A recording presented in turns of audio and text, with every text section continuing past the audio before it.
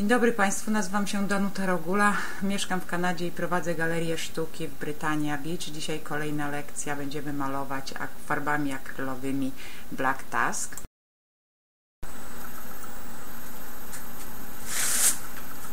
Dzień dobry Państwu, dzisiaj mamy kolejną lekcję. Chciałam się z Państwem czymś podzielić. Tutaj Teraz e, w Vancouver mamy dużo sklepów, dużo sklepów za dolara. Wszystko jest za dolara, no więc ja kupiłam 50 płócien za dolara i teraz y, te płótna są obciągnięte takim cylafanem i ja y, używam zanim namaluję coś na tym obrazku, to używam tych płócien y, jako palet i następnie zrywam ten y, celafan. O, widzicie Państwo, i jest gotowe płótno i teraz także kupiłam Y, pędzelki bardzo porządne, też y, za dolara, są w różnych rozmiarach, o, takie. I farbki mm, też po dolarze. Każda farbka akrylowa, wiele kolorów, e, wszystko po dolarze. Więc teraz zabieramy się za malowanie. Dzisiaj e, będę malować e, Black Task. To jest taka góra e, Whistler. Zaraz Państwu pokażę, gdzie ona jest i w związku z tym razem przenieśmy się teraz do Whistler. Na początku września udałyśmy się z bratową do Whistler.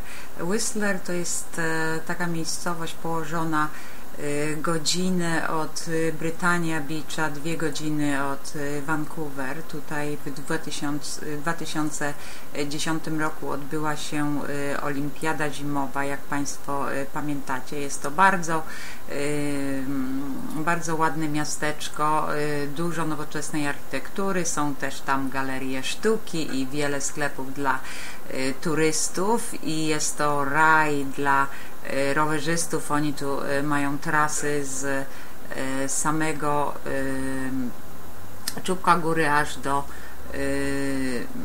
do Whistler. No i tutaj my udałyśmy się na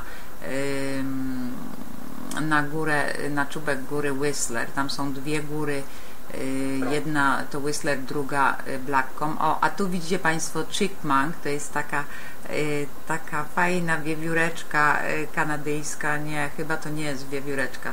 Chickman to jest Chickman, pełno ich tutaj y, wokół, bardzo miłe stworzonka. A tu już my dotarłyśmy na samą górę. Widok był niesamowity. Tutaj jeszcze reszta śniegu zeszłorocznego.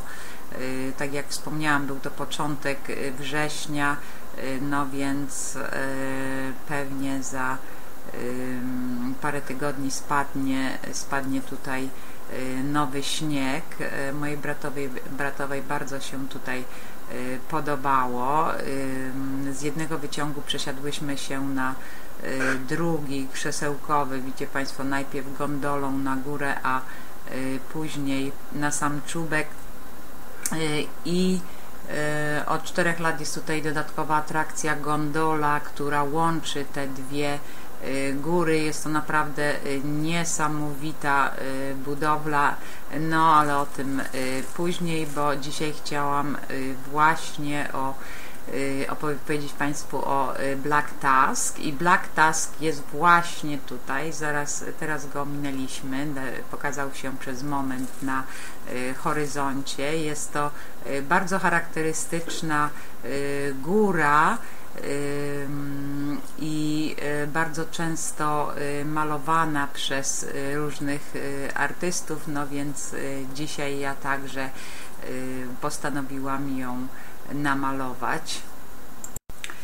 Więc ja zaczęłam tutaj od przygotowania sobie płótna podkładu na czerwono E, bardzo lubię ostatnio czerwony kolor i nie wiem dlaczego tak nie naszło i w związku z tym przygotowałam kilka płócien a tu moje kolory, które będę używać. Jak widzicie Państwo jest ich nie za wiele. Jest niebieski, lawenda, jasno-niebieski, ciemno-niebieski, żółty, czerwony i czarny. No więc zaczęłam tutaj od szkicowania. Nie maluję z pamięci. Oczywiście patrzę się na komputer. Na komputerze mam otwarte to zdjęcie, ale nie używam także kratkowania. Jeśli Państwu to y, pomoże, to, to, musi, to możecie y, sobie oczywiście y, pokratkować ten obrazek w Photoshopie na komputerze i zrobić podobne kratki na płótnie. Ja już maluję 30 lat, więc naprawdę to kratkowanie nie jest mi aż tak bardzo potrzebne. Mm, tu Państwo widzicie, zaczęłam od malowania samej góry i miejsca, gdzie kolory są najciemniejsze. Jest to często stosowana Y, metoda, ponieważ, y, ponieważ jeśli y, zaczniemy odwrotnie, to znaczy kolory jasne malujemy za ciemno, to jest to bardzo trudno zmienić, szczególnie jak się maluje farbami olejnymi. Nie ma to aż takiego znaczenia tutaj w tym wypadku, ponieważ ja maluję Y, farbami akwarelowymi i te można zmieniać. Y, tutaj ja muszę dodać, że y, nie bez przyczyny użyłam tego czerwonego koloru jako podkład i teraz staram się zostawiać pomiędzy poszczególnymi plamami koloru. Y, widzicie Państwo, ja nie domalowuję, zostawiam trochę tego czerwonego, stwarza to takie wrażenie i jakby obrazek wyglądał jak witraż i trochę dodaje tego ciepłego koloru pomiędzy wszystkimi tymi odcieniami niebieskiego i i lawendowego, które są takimi kolora, kolorami raczej zimnymi, więc ta y, czerwień nie jest tutaj bez znaczenia, ponieważ ona y, ociepla całą resztę. Teraz, jak Państwo widzicie, y, zmieniłam pędzelek na znacznie mniejszy. Doszłam do wniosku, że powinnam tutaj dodać kilka Y, szczegółów no i mój y, szeroki pędzel y, wydał mi się za szeroki i także obrazek wydaje mi się wygląda dużo ciekawiej jeśli zmieniamy ten pędzel od czasu do czasu to znaczy część plam jest malowanych właśnie szeroko dużym pędzlem a część plam jest malowanych pędzelkiem malutkim. No a teraz już przyszła kolej na niebo i ja zdecydowałam się na taki kolor bardzo jasny, niebieski, który jest charakterystyczny dla bardzo słonecznego dnia w górach, a poza tym myślałam, że to będzie Y, dobry kontrast do tych y, moich fioletów, ponieważ one wyszły mi y, trochę za ciepło w porównaniu do tego, co planowałam, więc myślałam, że taki zimny, niebieski kolor trochę mi zrównoważy tutaj całą kompozycję mojego obrazka. No i teraz już kolej na najjaśniejsze części Y, w obrazie. Jak Państwo widzicie, używam tutaj y, czystej bieli, a miejscami y, dodam trochę żółtego i beżowego, aby ten mój śnieg w słońcu trochę ocieplić i Poza tym żółty i beżowy stwarza taki fajny kontrast do tej mojej lawendowej i fioletowej, a także niebieskiej reszty. I zwróćcie Państwo uwagę, ja ciągle nie zamalowuję do końca tego czerwonego pomiędzy poszczególnymi plamami, trochę tego czerwonego ciągle zostaje. Jest to jakby taki czynnik łączący cały mój obrazek, no i ten czerwony wyraźnie tutaj tą całą scenerię nam fajnie ociepla. Jak Państwo zauważyliście, ja tutaj nie za bardzo staram się, aby moje zdjęcie było wiernie skopiowane.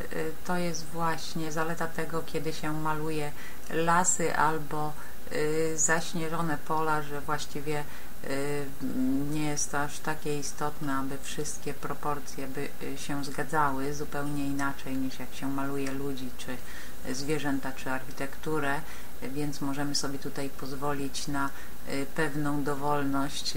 Ważne jest tylko to, aby źródło światła było jak gdyby zachowane i aby nam się tutaj te cienie i i miejsca, w których to światło pada, zgadzały. Reszta nie jest aż tak ważna, ponieważ wszystko i tak ulega zmianie ze względu na to, czy będziemy mieli jakieś chmury, czy ze względu na porę dnia, czy porę roku, czy tego śniegu będzie więcej, czy mniej, to wszystko się zmienia.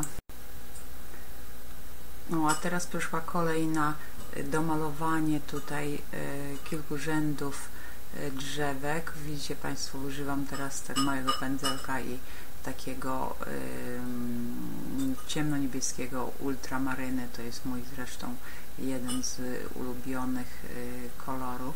A te drzewka fajnie wyglądały tak jakby ktoś przeszył ten krajobraz maszyną, jakby pikowana kołdra i w trakcie jak ja malowałam to może nie wiem co się stało za, za dużo szczegółów tutaj dodałam w tej dolnej części obrazu i teraz niebo wydało mi się takie zapuste, więc zdecydowałam się, że dodam tam z tyłu takie pasmo gór, które właściwie nie istnieje na moim zdjęciu, ale czegoś mi tam wyraźnie brakowało, a teraz Państwo widzicie jaśniejszym kolorem jak gdyby przesuwam tą linię horyzontu i dodaję taką linię z górami w moim tle, której nie było na zdjęciu, ale która spowodowała, że mój obrazek jest trochę bardziej